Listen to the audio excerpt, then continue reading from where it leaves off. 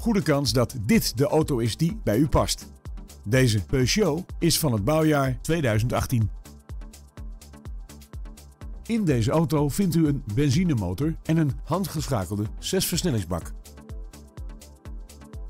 Het is een compleet uitgevoerde auto met onder meer airconditioning, een boordcomputer en een in hoogte verstelbare bestuurdersstoel.